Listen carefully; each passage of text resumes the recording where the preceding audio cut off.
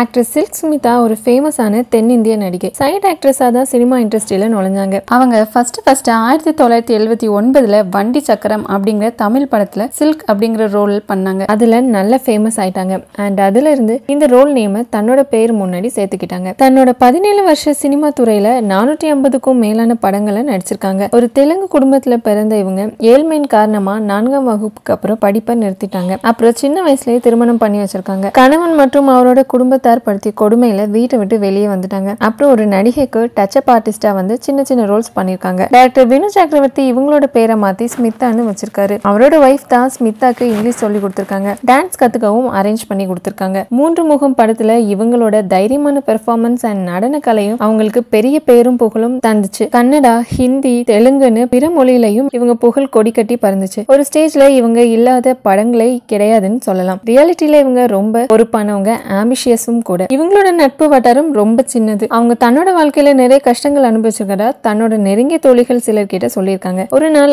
அதாவது செப்டம்பர் இருபத்தி மூணு ஆயிரத்தி தொள்ளாயிரத்தி தொண்ணூத்தி ஆறு அன்னைக்கு காலையில அவங்களோட நெருங்கிய தோழியான டான்சர் அனுராதா கிட்ட ஒரு விஷயம் பேசணும்னு சொன்னதாகவும் அனுராதா அவங்க வீட்டுக்கு போய் சேர்றதுக்குள்ள இவங்க இறந்து கிடந்ததாகவும் சொல்லப்படுது அவங்க தற்கொலை பண்ணிக்கிட்டதா சொல்லப்பட்டுச்சு அவங்க எதுக்காக இறந்தாங்க அப்படிங்கிறது இன்னுமே மர்மமா இருக்கு